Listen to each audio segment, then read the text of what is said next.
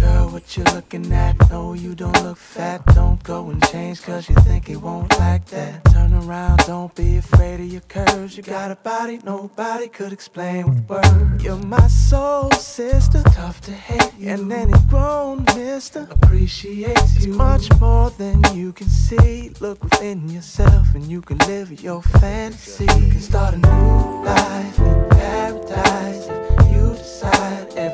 gonna be alright. Gonna be alright.